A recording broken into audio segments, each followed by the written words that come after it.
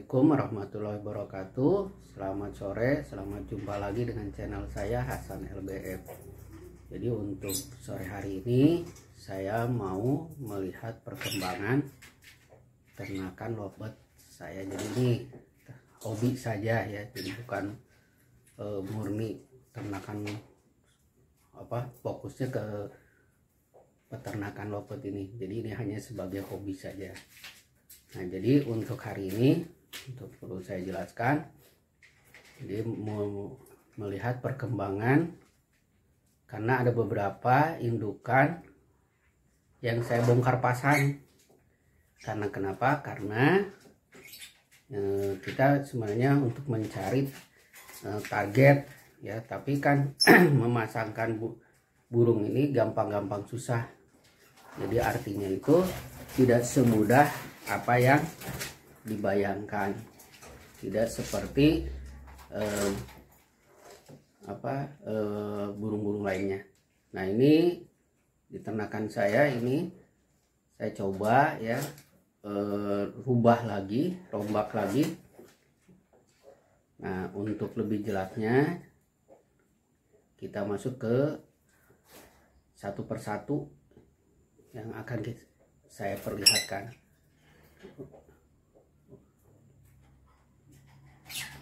untuk teman-teman jangan lupa dukung channel saya dengan cara like subscribe dan jangan lupa juga like ya sebanyak-banyaknya.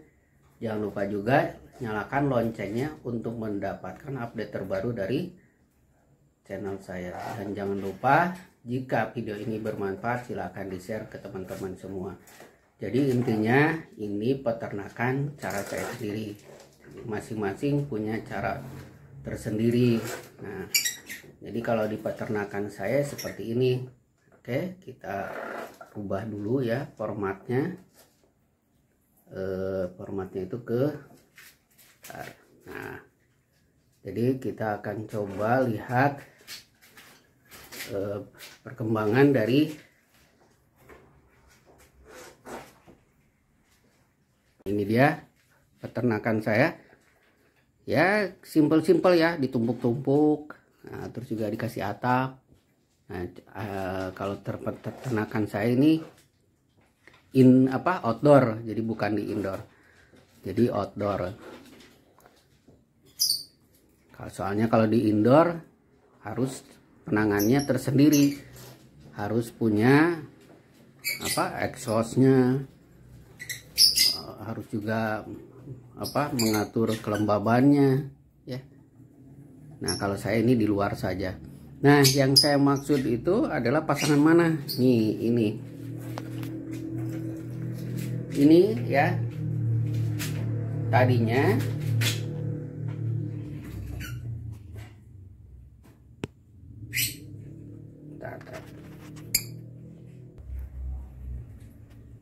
Oke. Nah ini dia. Tadinya pasangannya adalah Biola Ewing Green split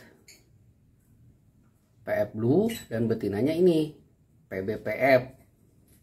Nah, karena hasil anakan ada yang keluar sayur ya karena kenapa? Karena kalau jadi jantan split biola. Nah, sedangkan sekarang harga split biola split PF sekarang sudah turun. Sudah nggak ada nggak seperti dulu harganya sangat tinggi. Makanya sekarang bisa digolongkan menjadi eh, harga sayur. Nah ini ada saya pasangkan dengan PF Blue. Ini PF Blue nya adalah split biola. Nah, si jantannya dipasangkan ke mana? Jantannya saya pasangkan ke sini. Nih di sini kandangnya. Ini saya pasangkan dengan biola PBPF supaya akan menghasilkan biola jantan dan biola betina. Karena kalau cuman eh, splitan itu ya. Kalau cuman splitan dan juga cuman ini sedikit kurang ya. Nah ini saya buka dulu kuncinya. Nih ya saya lihatin perlihatkan ke teman-teman semua. Nah ini dia.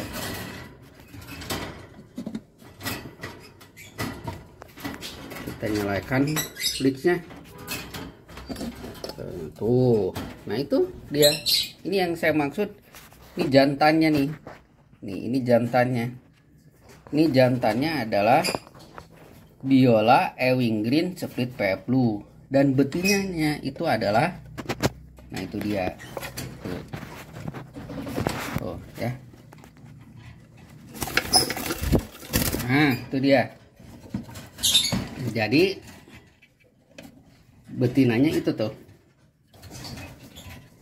Betinanya itu adalah biola PBPF tuh mata merah.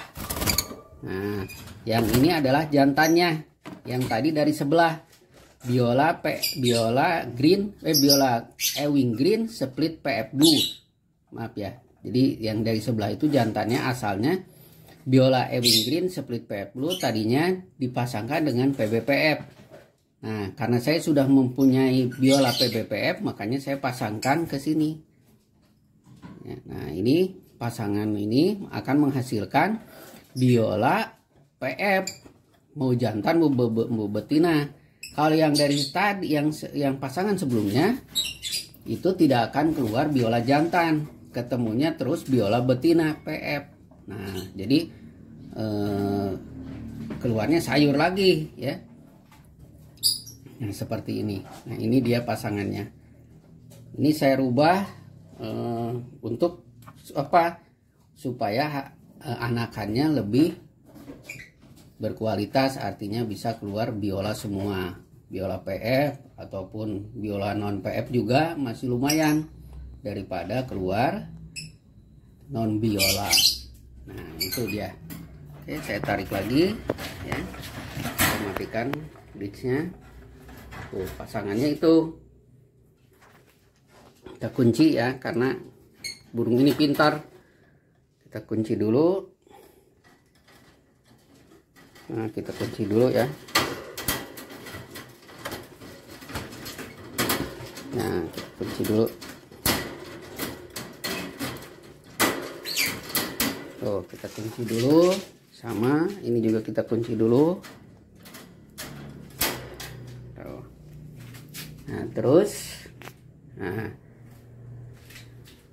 Sekarang ini saya ada kedatangan baru nih. Ini sudah baru yaitu uh, biola ewing biola aqua ewing B1 nah ini nih. Ini berisik kuatnya jantan dan mudah. Ini usianya masih lima bulanan dan saya rencananya mau pasangkan dengan ini yaitu biola PB Cremino MM ini biola PB Creminonya mata merah. Ini biola. Nah ini sengaja saya satukan dulu supaya saling mengenal dulu. Nah terus mana lagi yang yang dirombak lagi. Yaitu yang dirombak lagi itu yang di bawah. Nih. Ini adalah biola PB Cremino betinanya. Nah ini biola Ewing Green split eh, possible Ino. Nah ini juga kenapa saya pasangkan? Yaitu untuk mendapatkan biola Ino. Ya bisa biola PB Ino, bisa biola PB Cremino, bisa biola Lutino, bisa biola Albino. Nah dari pasangan ini yaitu biola Ewing Green split eh,